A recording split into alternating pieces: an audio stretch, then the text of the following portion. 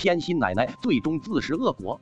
丽娜再也忍不住，大声说道：“谢谢奶奶关心，不过老爸有我，用不着堂弟来孝敬。”堂弟破口大骂：“老黄家的事用不着你一个外人来指手画脚，黄氏企业当然该由姓黄的人来继承。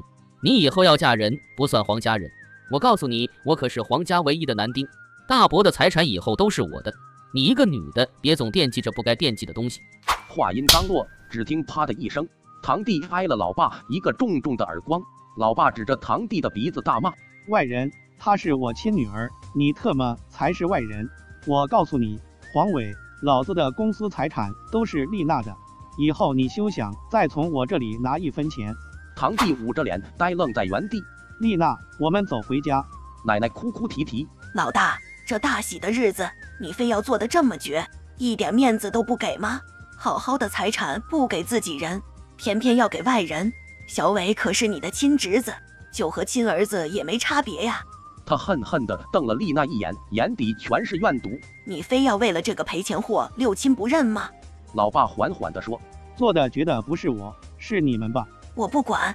今天你不立这个遗嘱，把财产给小伟，就别认我这个妈。”老爸眼中的光消失了。妈，这是我最后一次叫您妈。谢谢您多年的养育之恩，阿姨，以后您自己多保重，赡养费我会按时打给您。老爸最后看了一眼奶奶，转身离开。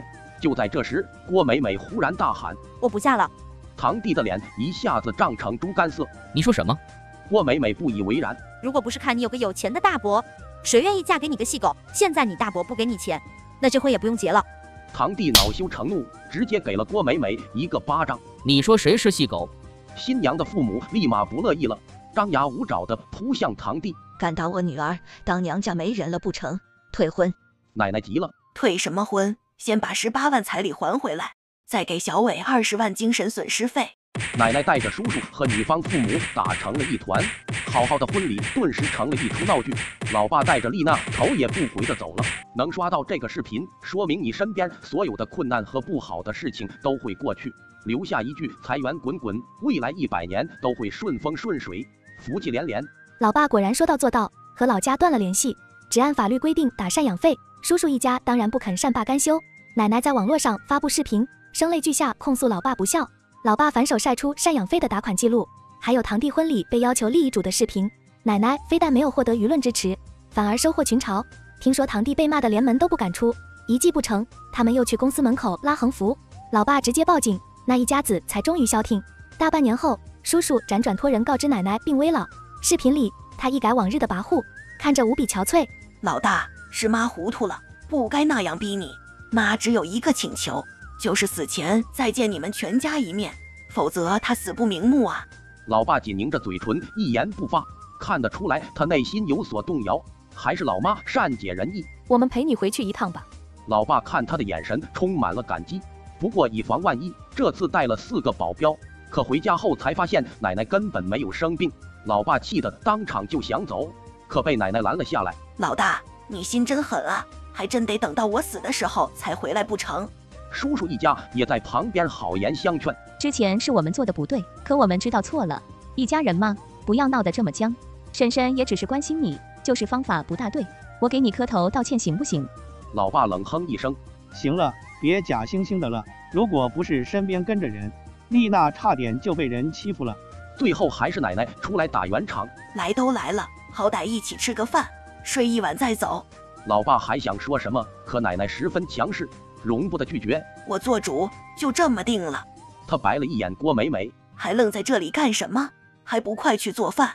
郭美美低着头，摸着微微隆起的肚子，没有动。虽然婚礼上闹得很难看，可郭美美和堂弟最后还是结婚了，因为彩礼已经花在了他弟弟身上，根本还不回来。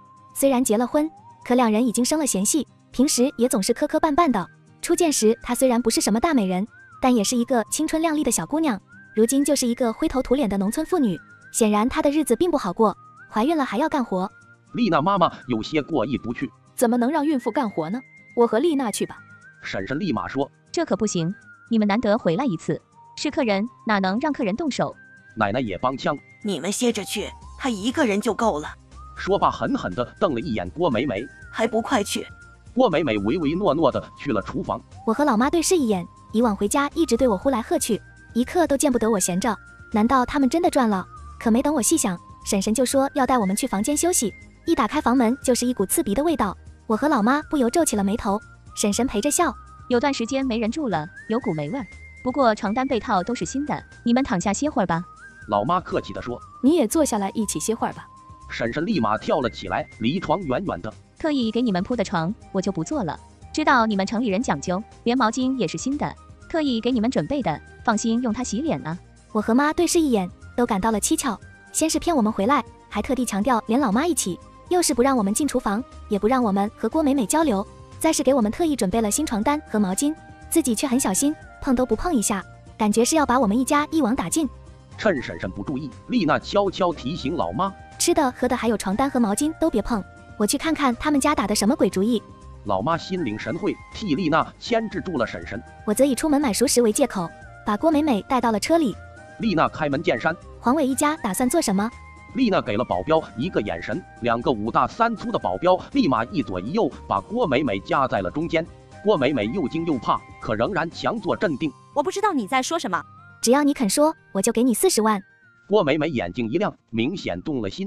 丽娜循循善诱：“这可是四十万，完全属于你自己的钱，你可以拿着做任何事，漂亮衣服、化妆品、包包，想买多少买多少。”像郭美美这种生长在重男轻女地区的女孩，对娘家而言是给兄弟赚彩礼的工具，在婆家是当牛做马的劳动力，物质需求长期得不到满足。四十万不是小数目，她不可能不动心。郭美美咬了咬嘴唇，看样子在天人交战。丽娜决定下一剂猛药，就算你不说，我大概也能猜到是对我们一家不利的，是吧？你自己想想，嫁给黄伟以后，你过的是什么日子？他对你这么差，值得为他冒险吗？如果出了事，他肯定会把责任全推在你身上，而且我告诉你，我爸已经立了遗嘱，如果他出了意外，就把所有财产捐给慈善机构，就算他死了，黄伟也得不到一分钱。郭美美眼中闪过一丝慌乱，片刻后终于开了口：“我告诉了你，是不是就可以放过我？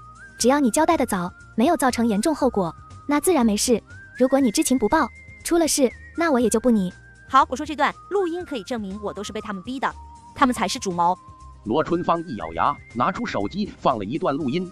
堂弟恶狠狠地说：“记住，先杀伯母，再杀丽娜，最后再杀大伯，这样财产才能都归奶奶。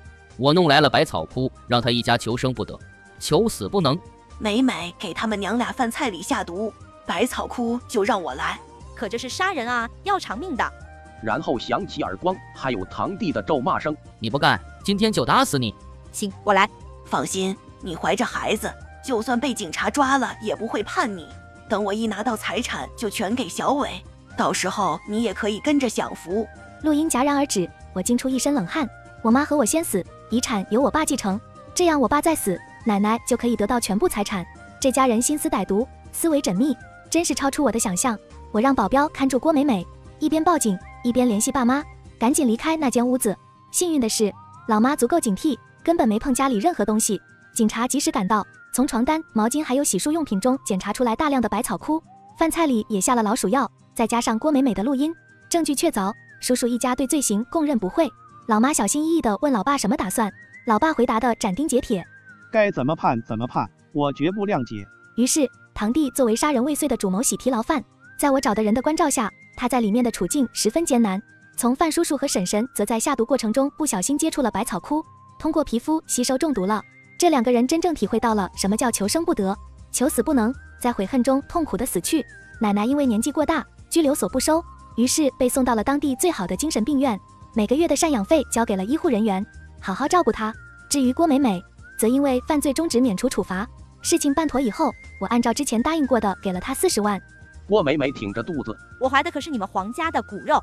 丽娜果断打断她的话，孩子打了，再额外给你十万。郭美美显然对这个数字不满意，丽娜慢悠悠地和她解释：“我爸和叔叔已经反目，根本不会出钱养这个孩子。法律规定，就算父母双亡，叔伯也没有抚养孩子的义务，更何况侄孙呢？你年轻漂亮，以后有大好人生，何必被一个孩子拖住？”